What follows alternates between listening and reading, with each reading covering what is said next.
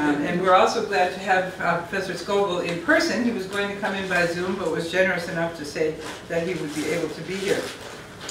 Um, Prior to this, uh, he was an associate professor of international affairs at the George H.W. Bush School of Government and Public Service and director of the China Certificate Program at Texas A&M University in College Station, Texas. From 1999 till 2007, he was associate research professor in the Strategic Studies Institute at the U.S. Army War College and adjunct professor of political science at Dickinson College, both located in Carlisle, Pennsylvania. His publications include China in the Middle East, The Wary Dragon, uh, by the RAND Corporation, PLA Influence on China's National Security Policy Making, Stanford, um, China's Search for Security, Columbia University Press, China's Use of Military Force Beyond the Great Wall and the Long March, Cambridge. Scobell was born and raised in Hong Kong and regularly makes research trips to the region. He earned a doctorate in political science from Columbia University. Thank you, Susan, for that uh, kind introduction. Yeah, I mean, let's face it, adjuncts, adjuncts anywhere are exploited people, right? But um, we, we, uh, choo I choose to be exploited because I enjoy, uh, George, Georgetown uh, University treats its adjuncts very, very, very well, uh, which is rare in my experience because I've adjuncted, adjuncted, adjuncted elsewhere. Um, I want to say I have very few slides, uh, and I'm going to use them to talk a little bit. And unless you have, if you have a quick question, I'm going to try and move relatively quickly um, without uh, without speaking um, at 95 miles an hour. Uh, but if you have a quick question, if you have a question or a quick question and clarification, please ask it. But uh, if, if, it's a longer question, I will request that you hold it towards the end, till the end. So. Um, but uh, you know, you, you be the judge of which is a quick question and which, which, is, uh, which is not. Um, I, am basing uh, what I'm about to present to you on three things, uh, three things that I published. Uh, one, the book uh, that I'm proud to be a part of, my chapter in this book on China, China and the Middle East, which I really, I'm biased a little bit, but I have, having done some research on this topic, um, look, finding something that's contemporary, current, and comprehensive ain't easy. And this, this is the best thing out there. Not because there's lots of other things out there that aren't so good, it's just that there really isn't much else out there. There are a few things, but I highly recommend, this is a great reference book. And you've got, I guess you've all been given copies. So that's, that's fabulous. Uh, the other, uh, the other book um, that this I'm about to uh, say uh, is based on in my RAND report, China in the Middle East, my co-author who's, who's an expert on Iran. Uh, so this is available online for free. I mean, you can download the PDF for free. If you want to buy a print copy, you got to pay, uh, unless you work for the U.S. government. Um, which you get, in which case you get. What you is the title? Sorry, China and the Middle East. I'm sorry. Uh, okay if you pass that book around? Sure. I will um, upload it into the folder, Oh, resource folder. Yeah, Oh. but I, I've, I've autographed this copy to give to one of the other presenters. so, uh, um, but it's as a China and the Middle East. If you Google Scobell China and the Middle East Rand, I guarantee it'll come up. I pretty much guarantee it'll come up. Um, and the last thing, uh, this is uh, last publication that uh, my remarks are based on, is the book uh, China's Search for Security, um, which is published uh, by Columbia University Press in 2012. And uh, actually, there's a pretty useful, of course, you have to pay for that, um, but if you have access to uh, databases, there's an article in Foreign Affairs published in 2012 uh, that uh, I co-authored uh, with, uh, with Andy Nathan, the other author of the, of the book, uh, looking, about, looking at really how China looks at the United States. But I think that leads me to say uh, that what you're about to hear, I think, think about it in terms of how understanding how China views the world, or the world, accord, how China views the world according to me, right? Uh, fair enough. Um, but, and where the Middle East fits in the bigger picture. And I know, I guess Africa's ta on there too, but I really, um, a lot of what I say is, is relevant to Africa too. Um, but uh, I'm trying to give you a big picture, and then you're going to hear you're going to hear a lot more detail in other presentations. I know you heard yesterday about China and the Middle East more specifically. So uh, with that, I think you had a presentation on the Belt and Road yesterday, right? so I'll touch on that too. But I'm a big fan of The Economist, and they have the, if for no other reason, they have the best covers. Um, You know, Planet China, What to Make of the Belt and Road Initiative. And, you know, if you're a cynic, you talk about the Belt and Road Initiative, it's, it's about all roads and railways lead to Beijing. Right? Um, But, uh, and there's, and there's some, some truth to that. But anyway, I'll I'll touch on that too, and you can draw on what you heard yesterday, either to say, yeah, that makes sense, um, or that doesn't, what you said this morning doesn't comport with what I, what I heard yesterday or what I, what I've read about. Um, So those are the, those are uh, parameters of what I'm going to uh, talk about today. Um, So I used to, used to give this presentation with that superimposed on that, because this is kind of dull and boring, and, and that's more colorful. But anyway, I, I think, I- as I thought about this cover, uh, this uh, title slide, it seemed that uh, it gives the impression that China's over there in the distance, and the Middle East is over, you know, quite well removed from China. And what, what I'm going to suggest is that's not quite the way China sees it. The middle, from China's perspective, the Middle East is much closer. Uh, uh, you know, articles are much closer than they appear in the mirror. Um, so, whoops, wrong one. How do I- I- There we go. Okay.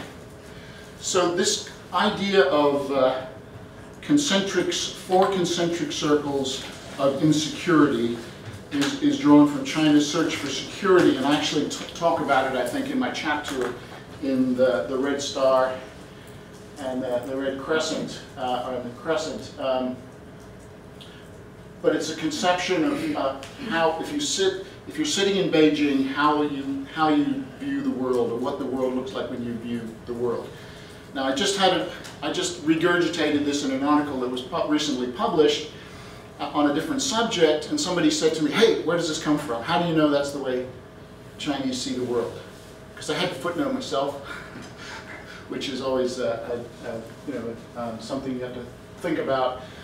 But let's put it this way: when I have given this conception to uh, audiences in China, analysts in China, Beijing, Shanghai, Nanjing, and other places, and no one's ever said to me, Andrew, you're wrong. And a lot of the people I talk to, I've been talking to for decades.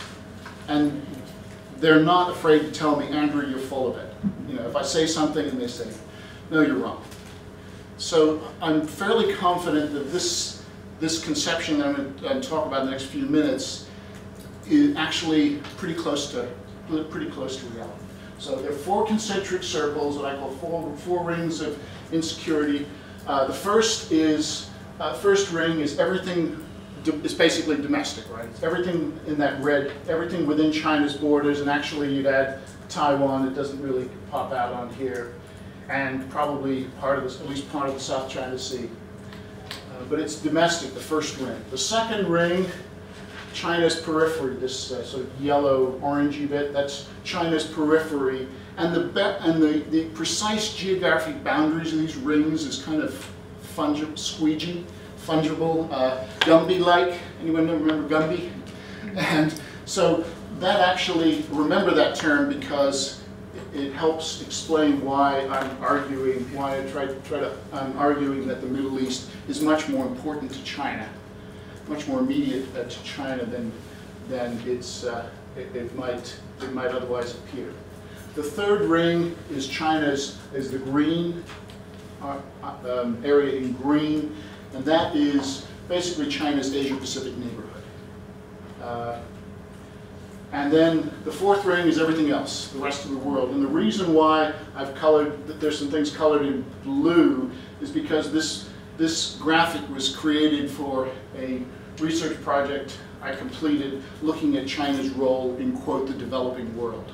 And by the developing world, we looked at everything except for Europe, North America, and, and Northeast Asia. So I highlighted the Middle East, just so you can see, and as I said a minute ago, this is rather fungible, so perhaps, probably, probably I should say, Turkey should be included, at least as China thinks about the Middle East.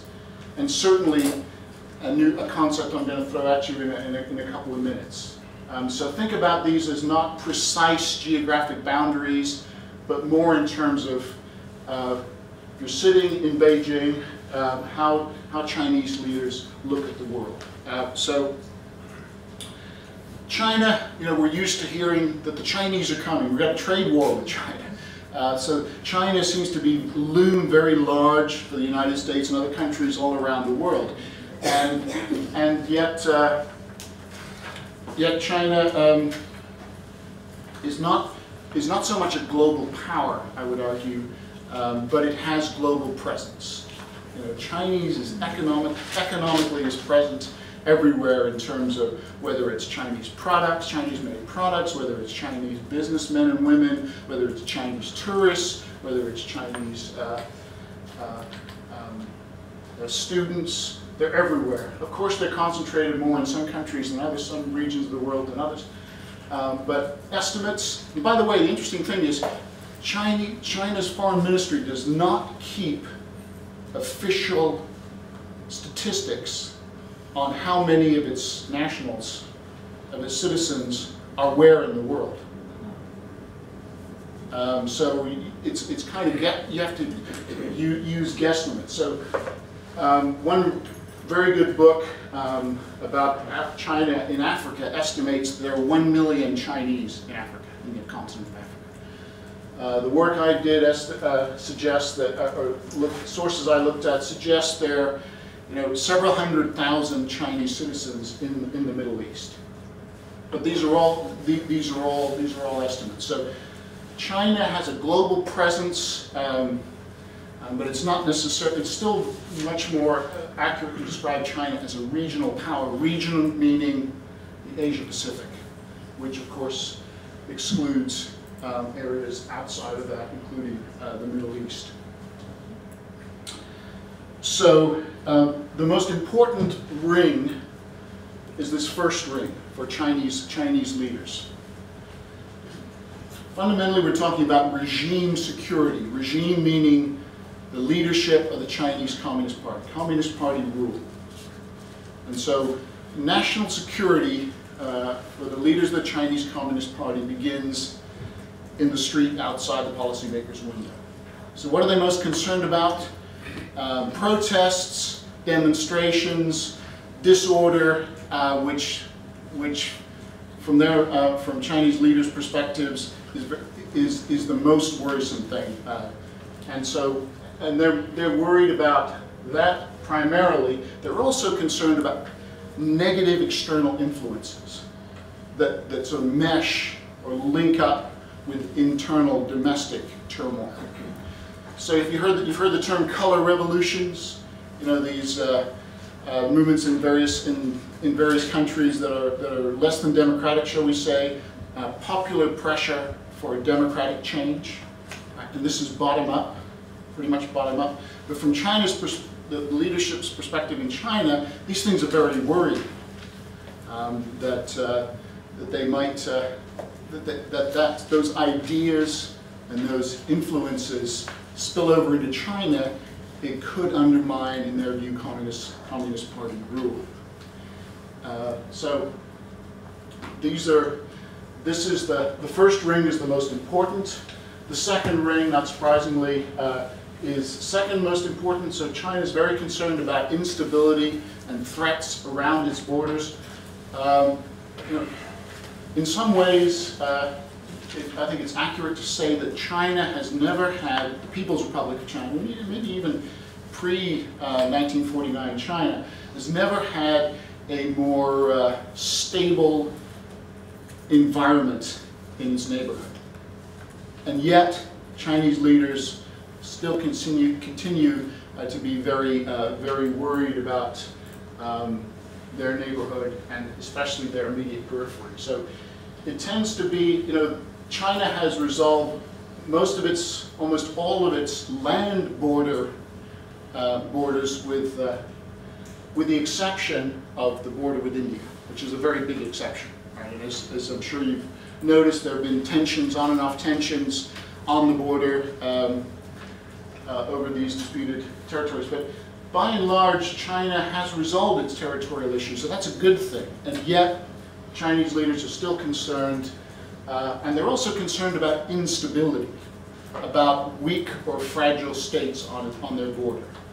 So as you might imagine, uh, North Korea uh, is, is, a, is a perennial, has been a perennial concern in, in recent decades.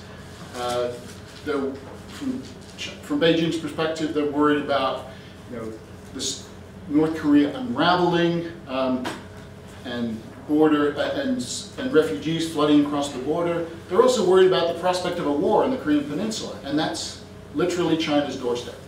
In fact, China's uh, foreign minister described it as China's doorstep uh, a few years ago. So, but it's not just there. You've got uh, countries, uh, the Central Asian uh, republics, which are, quote, stable in the sense that they're run by dictators.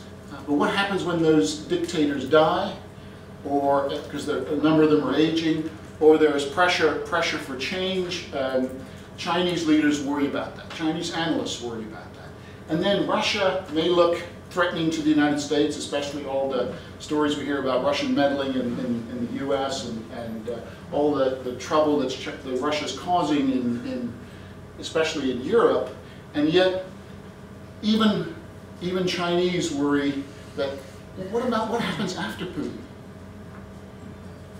So even Russia, and Russia is, it's not as big as the Soviet Union, but a destabilized Russia is bad news for China. So these are the, these are the concern, concerns that uh, uh, uh, are uh, in the minds in the minds of Chinese uh, Chinese leaders. So if you're if you sort of buy my argument that Chinese leaders are most concerned about that first ring, keeping order, stability inside that first ring, then logically you might say, well, why are they why have they embraced the world? Why are they more engaged, more globally active than they've ever been before? If they were that worried, wouldn't they just close China off? The way China did, by the way, under Mao. They closed themselves up, closed themselves off, and uh, focused on autarkic, you know, economic development. Well, the answer, my answer to that is that Chinese leaders in the 21st century have bought the Kool-Aid of globalization. Uh, what I mean by that is, you know, what's been the most remarkable thing in China in the post-Mao era since the late 1970s? It's been economic modernization, economic development, right? which, is, which has lifted hundreds of millions of people out of poverty. There's still very poor people in China. Um, but there's a burgeoning middle class, there's a whole class of millionaires uh, in China today. And uh, so overall, that has been a huge economic success. And why Chinese leaders have concluded, why has that been a success? Because China has opened itself to the world. So they've got to watch these negative, potential negative influences coming in. Uh, but China uh, the leaders of the Communist Party have concluded has no alternative but to continue to remain open to the world. Because to close China off would mean threatening that economic dynamism and growth, and that would actually, uh, in their, in Chinese leaders' views, uh, cause more problems and potentially great instability when Chinese people get uh, um, bear the brunt of that. And who are they going to blame?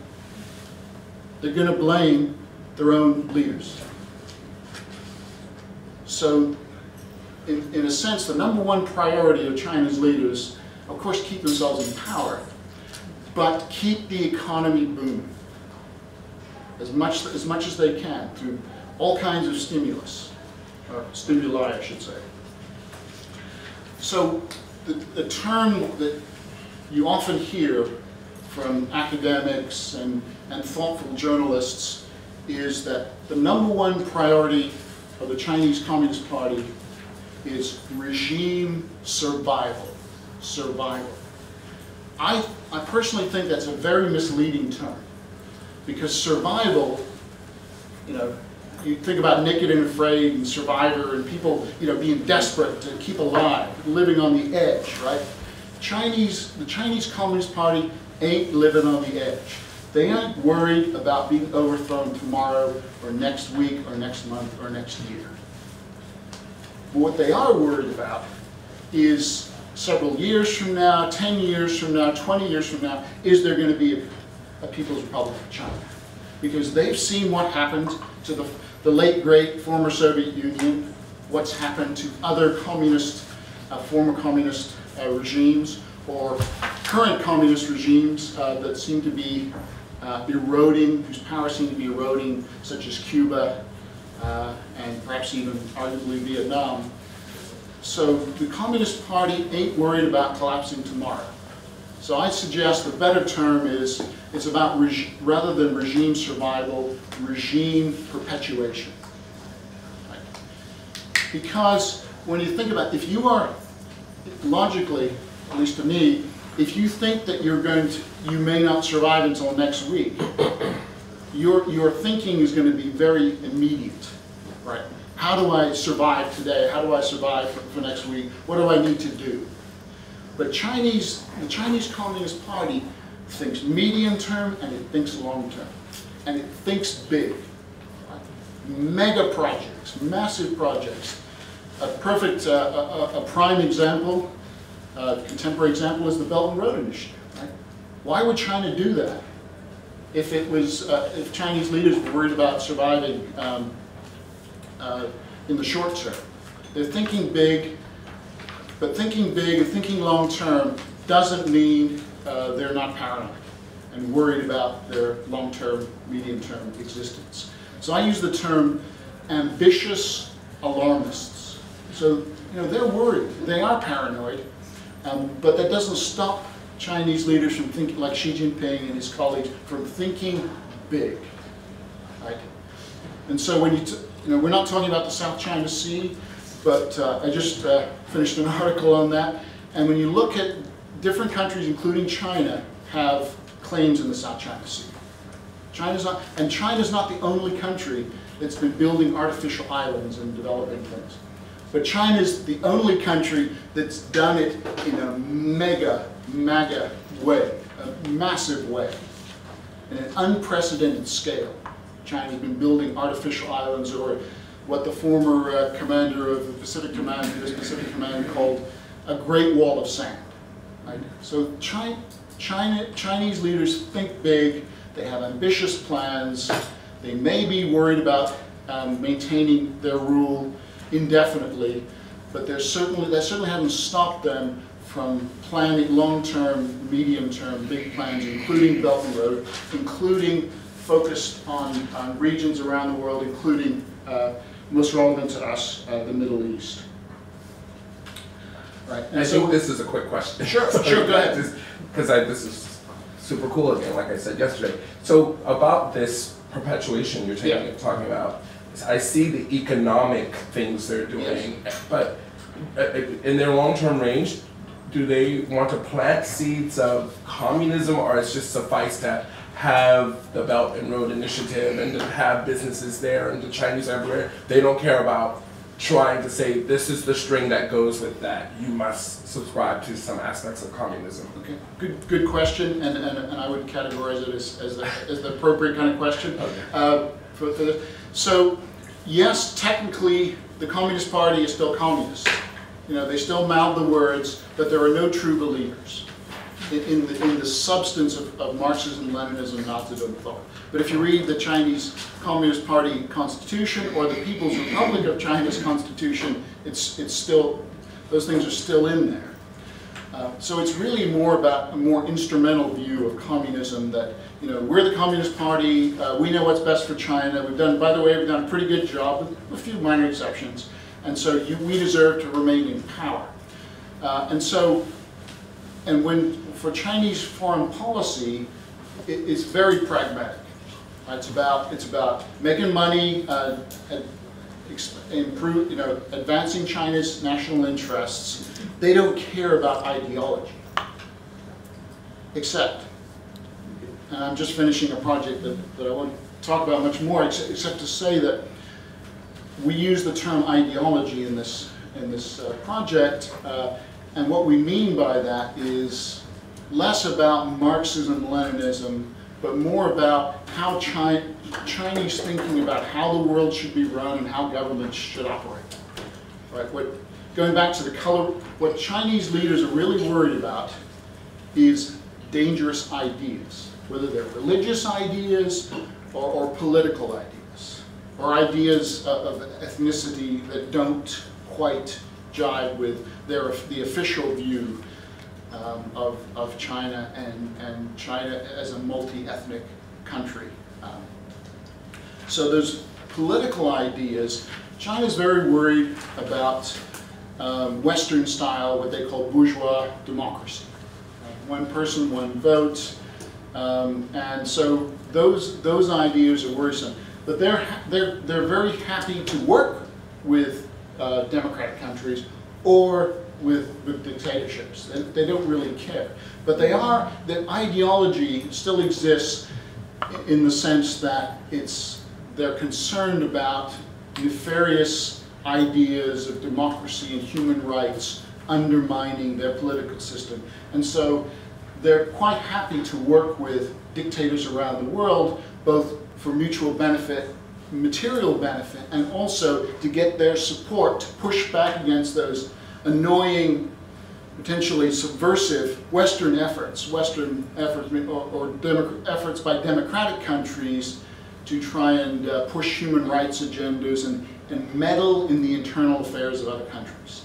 So China has, uh, a, going back to the 1950s, something called the Five Principles of Peaceful Coexistence. You heard of?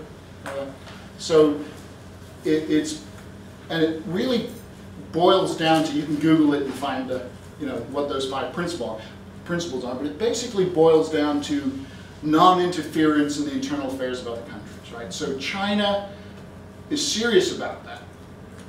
And they don't want other countries telling China what to do or, or, or criticizing China's human rights record. Um, and at the same time, they proclaim that they won't do that to other countries. And so they, they do take that really seriously, so that, I think that's kind of an element, could be considered an element of ideology. You know, compare that to the US position, you know, we like to think we can tell other countries, criticize other countries' human rights and tell them what to do because we're morally superior, um, or at least we've, we've seen that uh, a better, we are the future and we, you know, we know better than, than other countries. Um, and sometimes we do and, some, and sometimes we don't. But sorry, I didn't, I didn't give you a, a short answer. No, no, I. But it's a good, but it's a really, it was a very good question. The, the last point is that years ago, when China wasn't active all over the world, and they were still back in the 50s, the 60s, the 70s, even the 80s, it wasn't until the 90s that China really became, had a, started having a global presence, a real global presence. But up until the 1990s, the five principles of peaceful coexistence resonated very strongly with countries, especially third world countries who were tired of Europeans and Americans telling them, you know, how they should how, they should organize themselves and, and uh, in order to get aid and assistance and, and preferential treatment, et cetera, et cetera. And we're really receptive to the Chinese view that, look, we're not going to judge you, you know, whatever domestic conditions, uh, whatever cultural and, and, and political uh, things that you have going on, that's your business. And that, and, and that was very welcoming uh, for a lot of countries, especially African countries, um, by the way. But back then, up until the 90s, China really couldn't, wasn't doing anything to contradict that, that ideology. But fast forward to today, China is meddling in countries around the world. So in uh, an increasing number of countries, um, they're still hearing that five principles of peaceful coexistence rhetoric, but the reality where the rubber meets the road, China is actually starting to meddle in countries, uh, countries' politics uh, and uh, to protect their own, not for ideological reasons, but to simply protect their, their investments in those, in those countries. So it's a much more complicated picture. Um, uh, China's uh, interactions, uh, especially with the developing world, and that would include uh, the Middle East and, and Africa. All right, it was a really good question, a really short question, but it uh, had a- an excruciatingly long answer. But hopefully it was, hopefully it was uh, useful. Um, Yeah. Let's see, uh, next to Pam.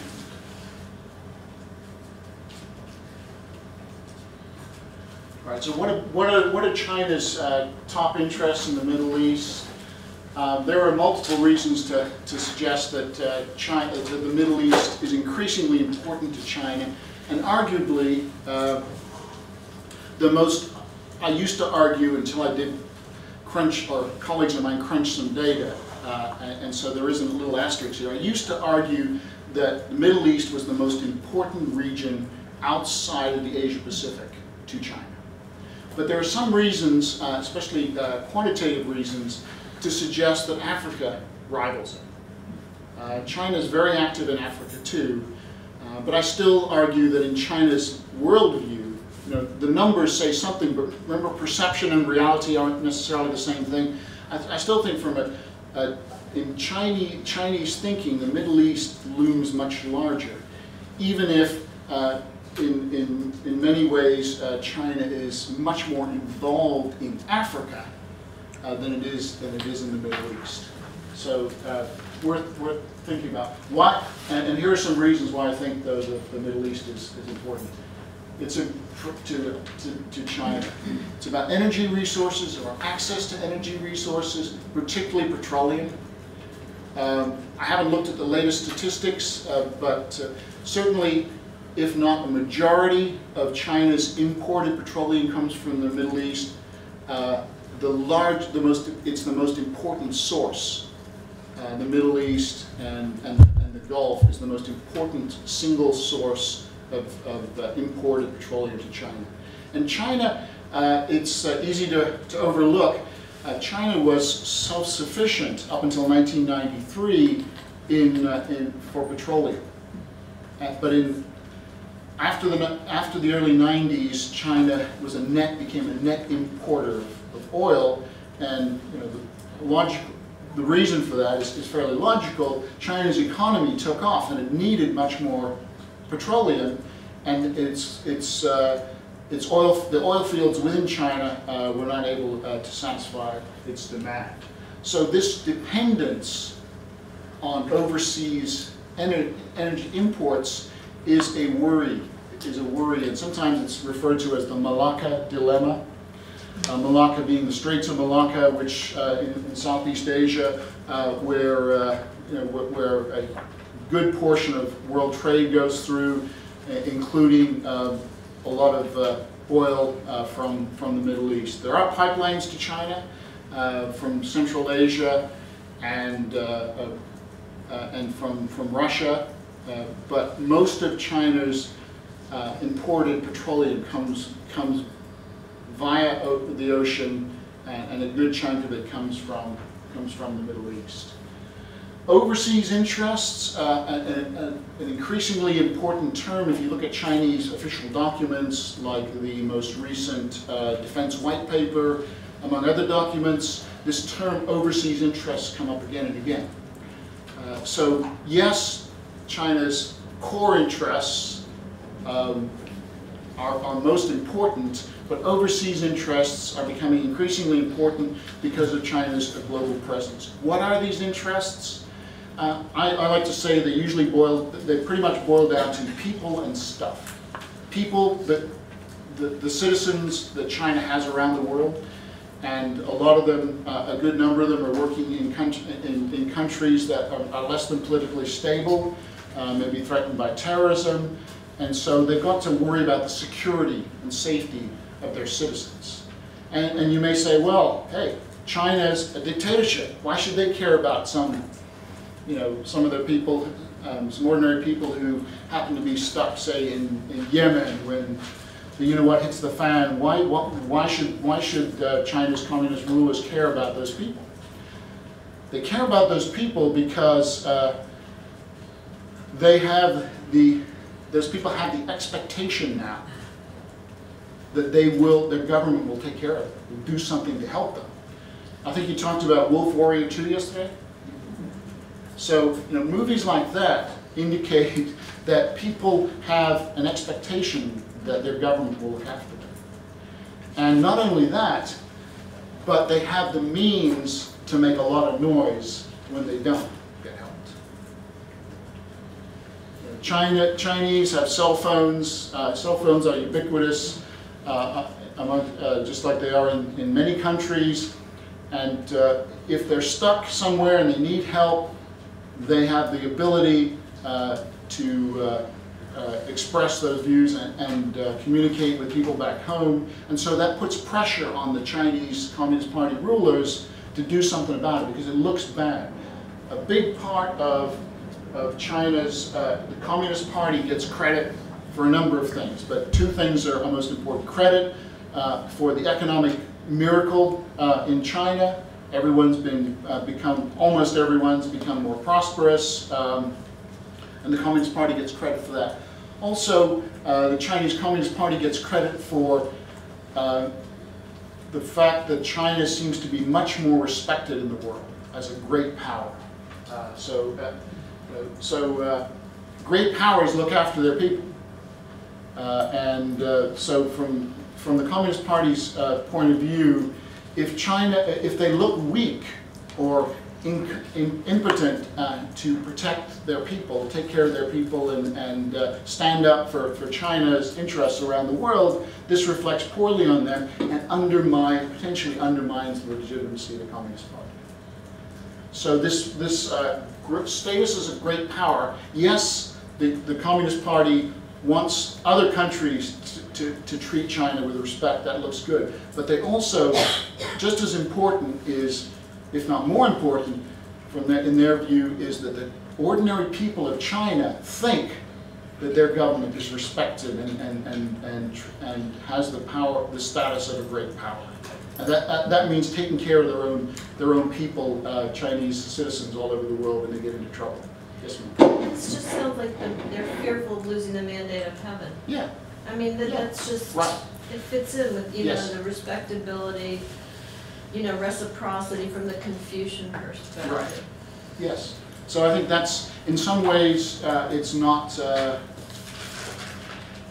it, it's helpful, it, it's useful to think of uh, this as a new dynasty, right? And, and just like, and, and that certainly, if, if, if nothing else, Chinese, uh, all, all Chinese, but uh, you know, more educated ones especially, have a very good understanding of their own history and, and different dynasties. And dynasties obviously don't last forever. And so what, you know, it's just like the United States predominance in the world. Are we the, are we the exception? You know, will this continue forever? Some people argue, yes, it will. But if you look at, if- if you look at history, nothing, nothing lasts forever. And you can quote me on that. Yes, ma'am. As a follow-up question to that, um, one of the things that Professor Adam mentioned yesterday was that the Chinese have established a number of Confucius institutes in Africa, wondering whether there are comparable institutes that have been established in the Middle East. A, um, a smaller number, actually. Um, and I, I have it somewhere, I can't pull it up really quickly, but I actually uh, asked one of my research assistants to, to chart on a, on a map of the world, dividing up into regions, where are these Confucius institutes? And Yeah. guess, well, where, where do you think, where are they mostly concentrated? Anyone guess? A lot of them in the United States, yes. In fact, the, the single largest number of Confucius institutes is in the United States. But they're pretty much in the, concentrated in, the, in what I'd call the developed world. There are much fewer uh, Confucius institutes in the developing world, so, you know, the Middle East, Africa, there, there are, they do exist. Uh, but they're mostly concentrated in the developed world. I think that's, that's uh, you know, you can speculate on why that is. I, I, I certainly speculate, and, and one reason is that uh, they're mostly interested in trying to influence um, uh, you know, Western, Western democracies. Uh, the, the, not, they're trying to influence ordinary people, that uh, you know, China is not a threat, China is about you know, learning and culture and, and uh, a great civilization. Oh, and did I mention China's not a threat? Um, but you know, I'm not being. Has anyone had experience with Confucius institutes? I mean, there's, there's one at George Mason. Yeah, and the, the first one in the country, in the U.S., was actually at, uh, at Maryland, College Park. So, you know, I'm, I actually think they're a good idea, and they do good things. There was one at uh, Texas A&M University, and I worked very closely with the director of the Confucius Institute uh, to, to, to uh, you know, bring good, uh, programs to the community and to school, local schools. So I think they're a good, they're a good thing, but there's certainly an agenda. And of course, there's an agenda if you're talking about the Goethe Institute or Alliance Française or you know any of these things. Of course, it's an appendage of, of, of a government. Um, so I don't necessarily see anything nefarious, uh, but uh, you know it's about trying to increase your country's influence. As I said, if you look at where they're concentrated, it seems like China's more focused on trying to influence certain areas of the world, uh, populations or publics in certain areas of the world over, over others. Um, so I talked about energy, overseas interests. Oh, so maintaining uh, stability in China and the Asia-Pacific neighborhood. So, um, as, I, as I said earlier, in some ways, Middle East seems far away from China. But uh, you know, from China's perspective, uh, it's about uh, the, the, Middle East is important too because it's uh, a center of Islam. Um, uh, predominantly uh, Muslim countries. And for China, that's it, it's important to be friends with these countries and to inoculate themselves from criticism. What I, what I mean by that is, you know, China is 90 plus percent Han Chinese, right? So it's fairly, it's overwhelmingly one ethnic group. Now there are sub-ethnic groups too, but ethnic minorities make up about eight, eight, eight, roughly 8% of the population, but they tend to be concentrated in those peripheral areas or border frontier regions of China, especially Western China.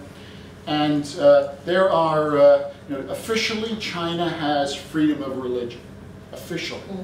And there are state-sponsored churches. And by the way, I should mention that the, you know, there are very few countries that China does not have diplomatic relations with, uh, full diplomatic relations at the ambassador level, and one of them is the Holy See, the Vatican, right?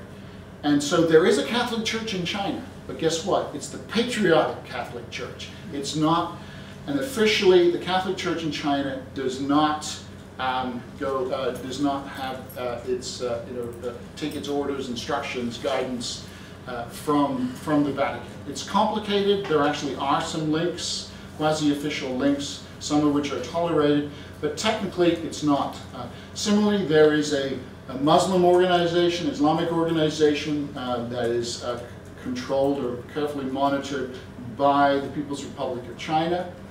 And so, yes, there is some religious freedom, some degree of religion, certainly more than there was in Mao's China, to be fair.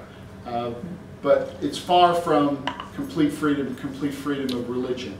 And what uh, China is very concerned uh, to avoid any criticism uh, of anything, uh, of anything, especially especially uh, Islam and its treatment of um, Muslims and ethnic uh, ethnic minorities. So, in particular, the Uyghurs. I think you had a, a, presentation about the Uyghurs yesterday. I don't know what what figure was thrown around, but I think they're uh, they're roughly about 9 million, I think 9 million Uyghurs inside China, most of them concentrated in the Xinjiang Autonomous Region out in western China.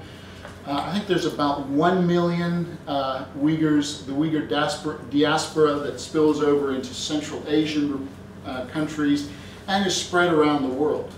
I think one of the largest concentration is in Turkey, and the Uyghurs are ethnically Turkic. Uh, but what what China's worried about is, is two, two things uh, from, from external, uh, external challenges uh, linking up with or intersecting uh, with the uh, ethnic Uyghurs or, or, and Muslim population in China. One is external support, whether it's especially, of course, subvert, especially um, you know, radical extremists like funding, uh, providing military training or weaponry, or, or even just uh, external ideas uh, about how, how good Muslims um, should uh, comport themselves in China, how the relationship with the, with the government, etc. But the other part of this is they're very concerned, Chinese leaders are very concerned about quashing criticism by uh, Muslims overseas and especially uh, governments in the Muslim world. And by my reckoning, uh, and we have some smart people who are very much more knowledgeable about this than I who can contradict me, and, and please, Mohammed, feel free if, if, I, if, you say some, if I say something wrong um, uh, or, you disagree with. But uh, they've been remarkably successful, um, in my view, about uh, encouraging or persuading countries, Muslim countries, including those in the Middle East, to not to criticize China uh, for their treatment of, of, of, uh, of uh, Muslim groups in, in, in China. And there's one exception that I can think of. In 2009, there were the worst riots um, in China since 1989. What happened in 1989? Um, of course, there was the, the, the Tiananmen uh, uh, mass massacre, and hundreds of people, at least hundreds of people were killed in and around Tiananmen Square in Beijing. In 1989, uh, there were very serious riots in, uh, in Urumqi, and hundreds of people died. They were, there were riots between uh, Han Chinese and, uh, and ethnic Uyghurs that got extremely ugly. And uh, you just see some of the photographs of that, uh, and, and it's, it, you realize how serious it was. In that, in that uh, one country criticized China, uh, and that was Turkey. Turkey's leader criticized China back then. And China really got upset about that and worked very hard behind the scenes to improve, to make sure that never happened again. And, and they've been, they've been pretty successful about that. Yes, ma'am? Wasn't there an, an attack in uh, Kunming? too? Did, did some Uyghurs come down? I mean, that's not the area where they usually are, the train station. Right. Well, that's, and, and so within China, I would not want to be an ethnic minority. I would not want to look Uyghur. And, I, and actually, I was, years ago, I was in, in Western China. I was, I was walking down the road an extremely hot day, uh, not dry heat, not humid heat like we have here in, in Washington. And I, I saw some kids coming home from school, and I said, hey, how you doing in, in Chinese? And they asked me, are you Chinese?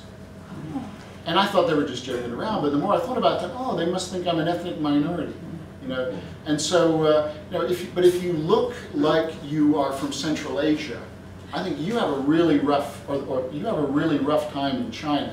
And I have a favorite restaurant in, in, in, in Beijing that's a Uyghur restaurant. And I just think they're in a Han neighborhood. They're in a hutong, you know, a, a traditional neighborhood. And every time I go there, no problems, and there are Han Chinese sitting in there too usually.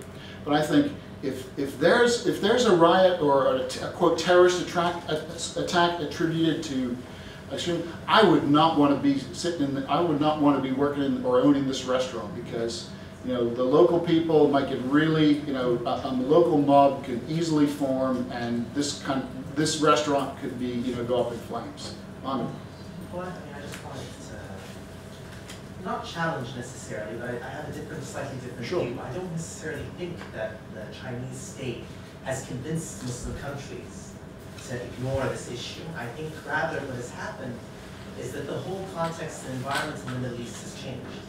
I mean, you've had the Arab Spring, you've had the Yes. essential collapse of many Arab states. Yes. And I think there's just fatigue about solidarity with transnational Muslim issues, both among Muslim populations, but also among Arab Muslim elites. So for them, even though developments in Xinjiang are worsening, they prefer to just put it aside because there's just too much to deal with back home. Okay. So I'm not Sure. sure whether the Chinese have been successful necessarily, that's all. Well, yes, but keeping a lid on, uh, on public and, and, and overt criticism.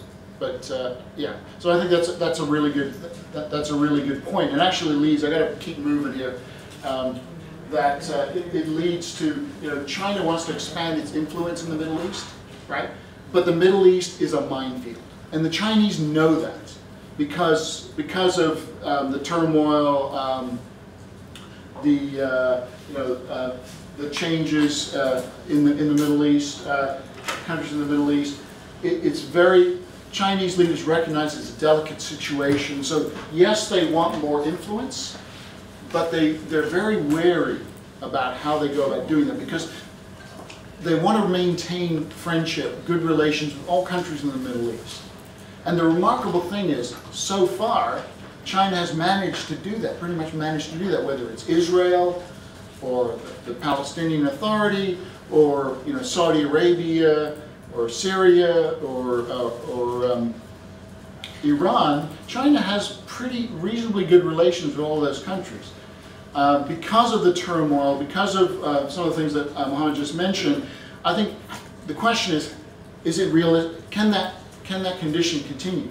And the answer is probably not indefinitely. But what China's, so, Chinese leaders have relatively skillfully done so far is, is symbolically look as if China plays a big role and has a lot of influence. Uh, outside, and economically, they definitely do. Um, but in diplomatic, in, in, the diplomatic realm and the military security realm, uh, China's influence is, is, is, much less. And so Xi Jinping took forever, or a long time, I should say, a, a, a good number of years before he first visited the Middle East. He came to power in 2012, 2013. His first visit to the Middle East was in uh, 2016. And he visited three countries. Uh, and, and, this underscores, and two of them I think are extremely important to, to China.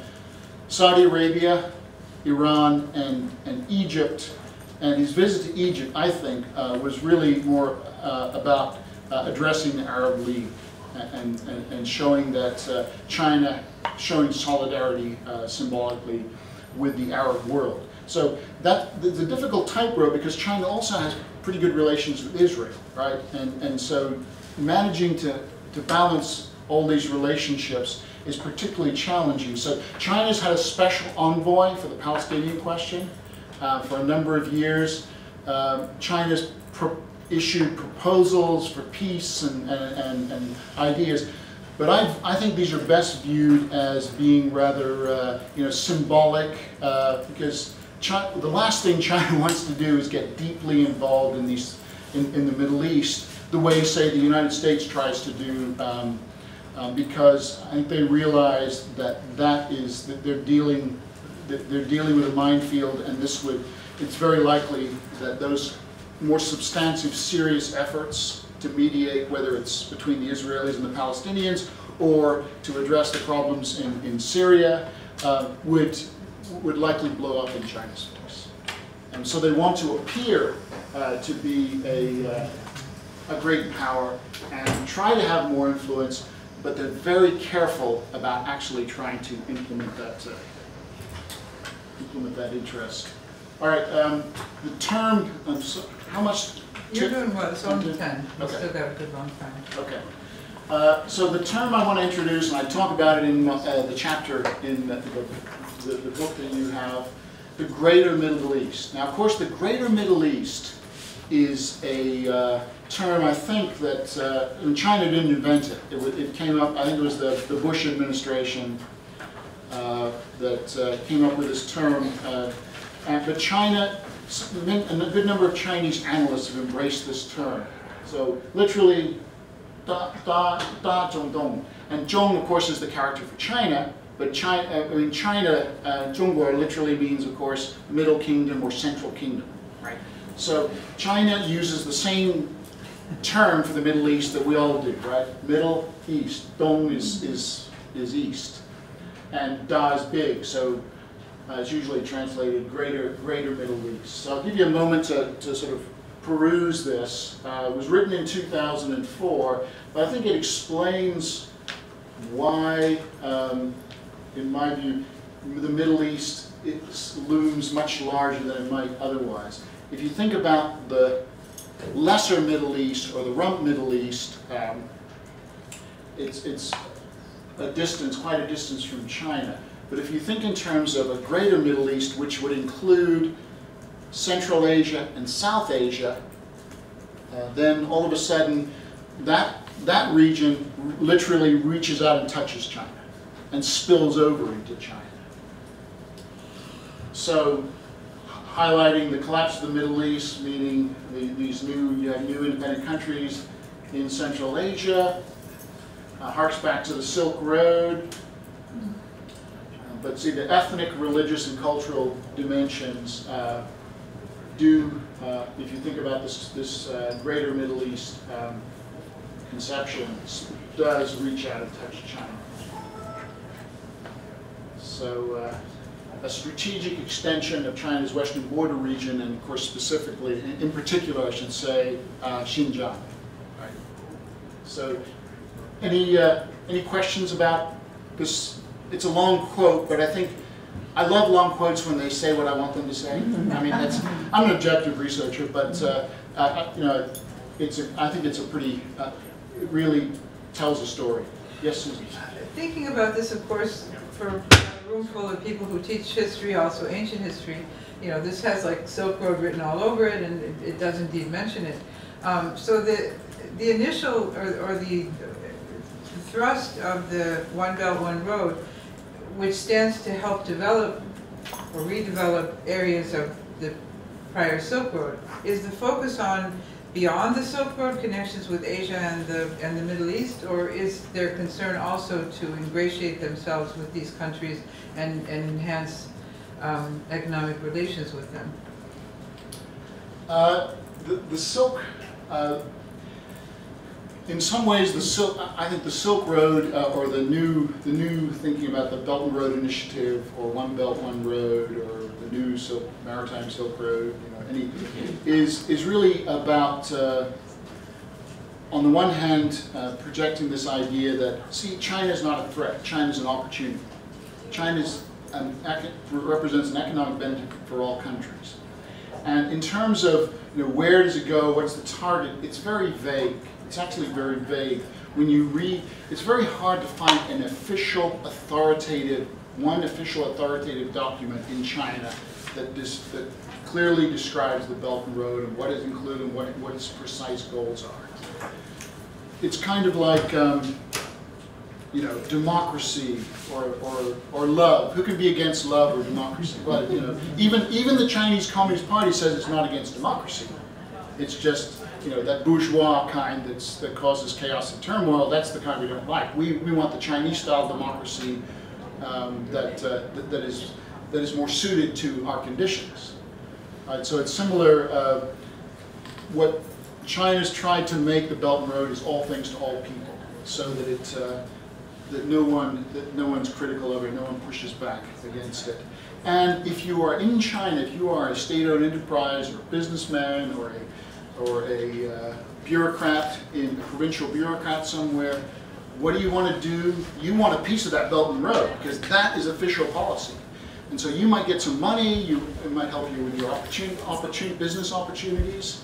And so that's, uh, the result is that it's kind of vague exactly when you try and say, what is the Belt and Road?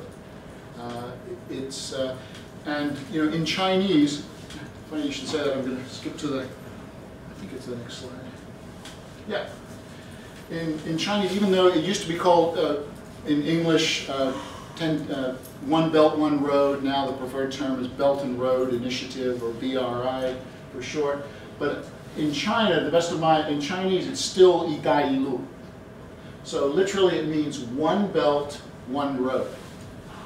And, and so, uh, you know, it gets confusing. So where's that belt and where's that road, which I think is why they changed the English translation to uh, belt and road, because it's many belts, many roads. And so the belt is supposed to be an overland one, and uh, the, the road is supposed to be a maritime Silk Road. And this, and the other thing is looking at finding a map, an authoritative map of what is the Belt and Road. What are these Belt and Road initiatives? There are so many maps out there, and actually some of them are very pretty and, uh, and useful. But guess what? I have yet to find an, an official, definitive map of, that includes all Belt and Road initiatives. And I, I don't, has anyone found a Belt and Road, a map, such a map? I mean, there's some great maps, Wall Street Journal, other publications, other think tanks have put out great maps uh, of the Belt, Belt and Road initiatives and, and routes and, and so on. But to my knowledge, there is no official one put out by the Chinese, Chinese government. So, you know, this is, as I said, it, it's misleading. I think they changed, they changed the, the term in English because it is, implies one belt, one road implies there's only one of each. Where in actual fact, uh, it's a lot more, it's a lot more complicated. I don't know what you heard yesterday. Um, does that comport or conflict with what you heard yesterday? I just saw a map this morning that showed the polar belt. Oh. So like you said, Yeah. Well, and then, and then you ask, well, and I did when I was in China, uh, doing interviews a few years ago, and I said, well, what about, uh, what about Latin America? Is that part of the Belt and Road? And some people said, oh, yeah. And I said, well, why not? You know, it's like, and, and I jokingly said, well, how about North America? We could use some help with our, upgrading our infrastructure. You know? and, and I said, in fact, that would be a great idea. Uh, you know, improving China's image in, in, in, the, in the U.S. Actually, one of my colleagues said, you know, construction of one, one big bridge somewhere in the U.S. it actually used Chinese steel. I think. Um, so there's a little bit of that, but it means it, it's kind of a vague, all-encompassing term, and but it, it's also useful to understand it. I think as a it- it's a you know it's a way to stimulate China's economy because this started. Of course, it harks back to the Belt Road, and some Chinese even talk about it as a, a, a latter-day Marshall Plan, right? Uh, that we, that after, after World War II, the, the U.S. uh, launched in Europe to help reconstruction, uh, rebuild Europe. Um, so what was I going to say? Belt and Road. Sorry, blanked out. Probably wasn't that important, but, So, oh, no, what was? Oh, so, yeah, it's an extension, a, a way for China to perpetuate uh, uh, the economic, economic growth, which is really important. It started, uh, I, I think it's an extension of the, the, the, the Go West strategy or development, uh, develop the West strategy that started in the 1990s in China. Because, uh, as you all know, China is a, a vast country. Uh, most of the population is concentrated in the west, I mean, sorry, the eastern part of the country, especially the coastal uh, regions and coastal uh, and, and eastern provinces. But further out west, and by, by west, China just doesn't doesn't just mean Xinjiang. They include Tibet, Qinghai, um, even Sichuan, Gansu, uh, a, good portion of, of, of, of China's total area. But all that west is largely underpopulated compared to the rest of China and underdeveloped. And so Chinese leaders, as I said, they're very ambitious, they're very smart people. They realize we need, we need to stimulate our economy and it makes sense to develop the infrastructure in our west, in the west part, western part of China.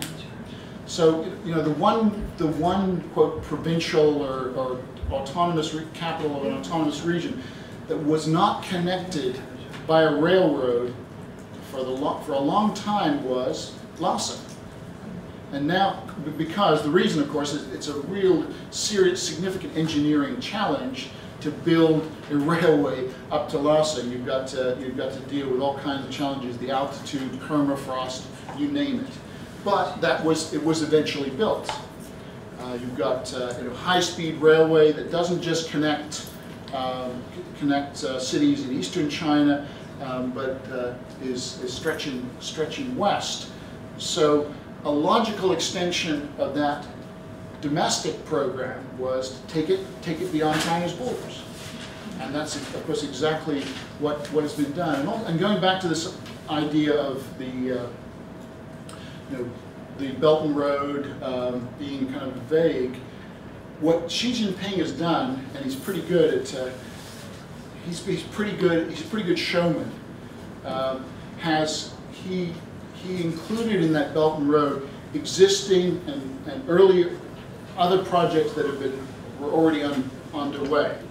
So everything became Belt and Road, even if it, even it preceded his administration and preceded his announcement of the Belt and Road in 2013. So it's, uh, it's, and you know, he gave two speeches, one in Central Asia and one in Southeast Asia, to launch the Belt and Road back in 2013.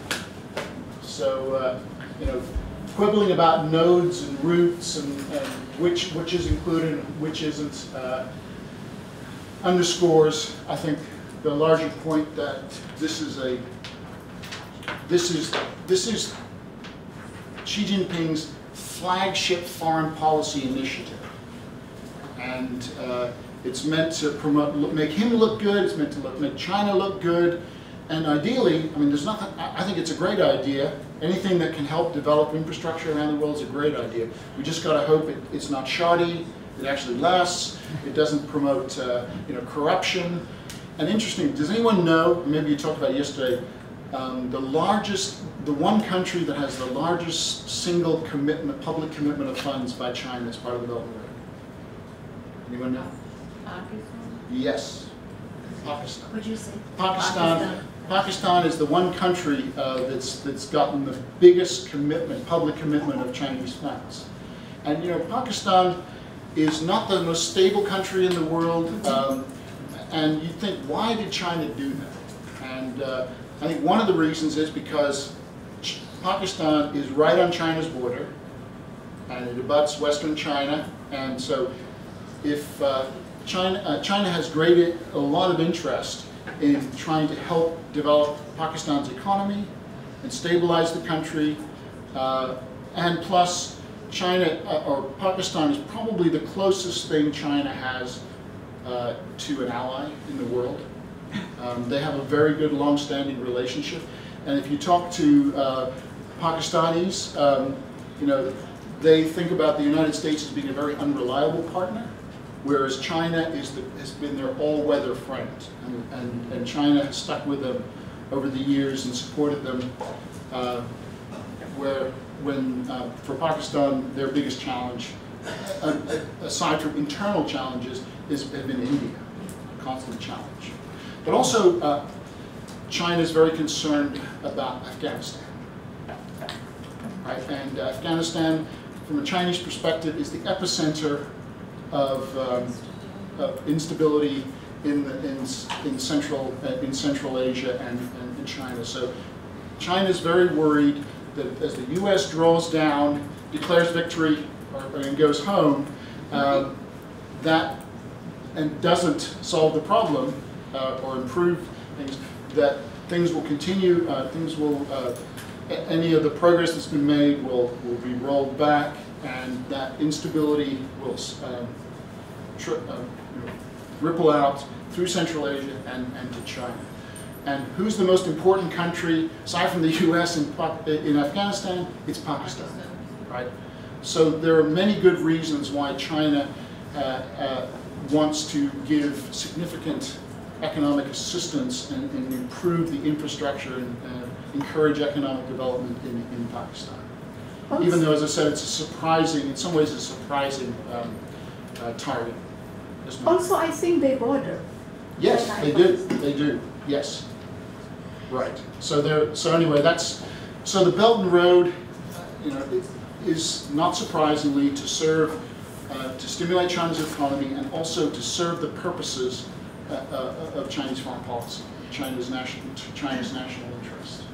Are the Chinese not only enhancing a port, but also fast train?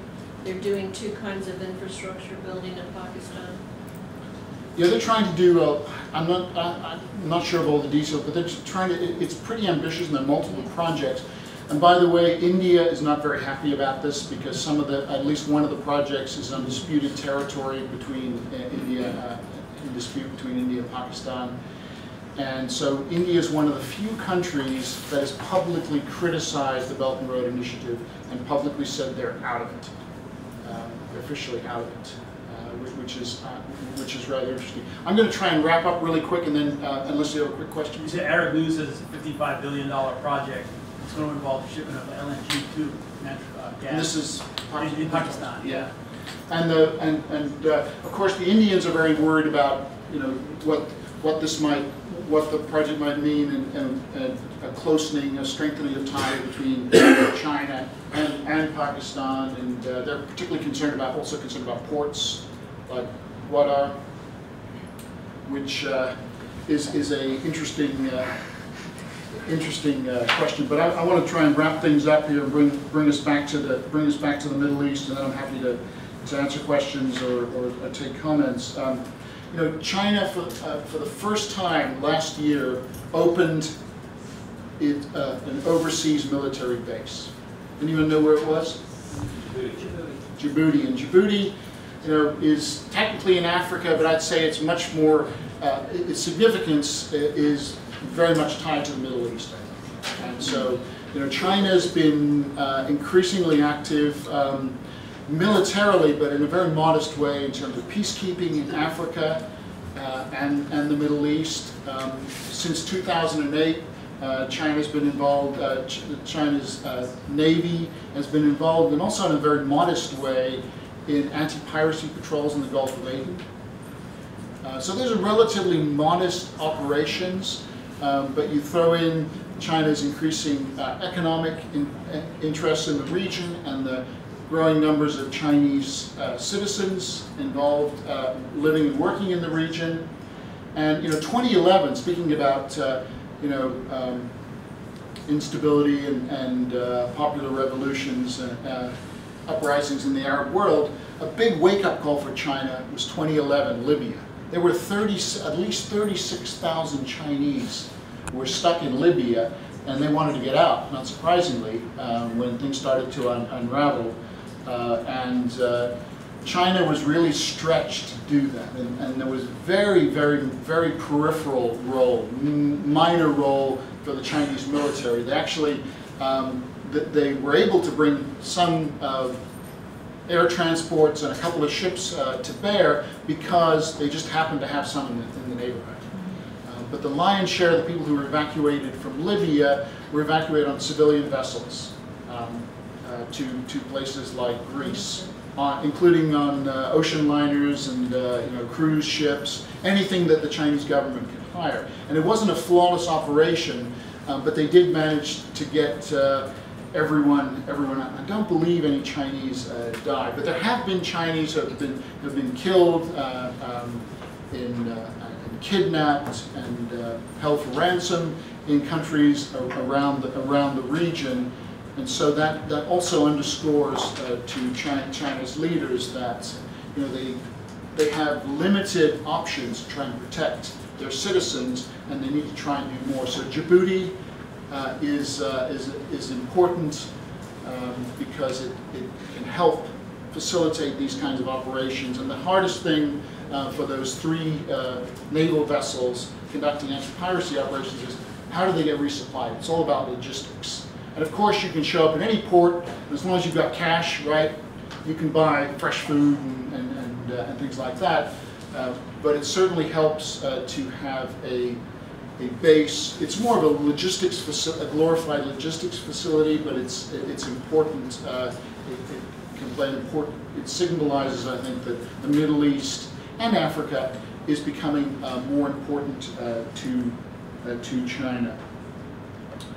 And in some ways, I think the Belt and Road, uh, if you if you think about the oversea, the, the overland, thank you, overland uh, uh, belt and uh, maritime road, the nexus, if there is such a thing, of the belt, that Belt and Road, in my view, is kind of the Middle East. So if you think about that, and as I said, I'm, I'm oversimplifying, right? Because I just told you there was no such thing as one belt and one road. Uh, but where they where they may, if you think about them uh, as uh, uh, in a larger context, where might they intersect or meet? I would say um, the crossroads. Um, you can think of it uh, as being in or, or near the Middle East. And so, uh, to my mind, that helps uh, underscore why why the Middle East seems to is a growing of growing importance. Let's see. So, the, if remember the term Greater Middle East. If you think about the term uh, Greater Greater Middle East uh, versus just Middle East, then going back to those four rings of, of insecurity, those four concentric circles, the greater Middle East spans or overlaps, spills over into all four of those rings from a Chinese perspective. And hence, the Middle East, the greater Middle East, uh, is uh, much more, um, matters much more uh, to China in 2018 than it has probably since the, since the original Silk Road. So I'm going to stop there.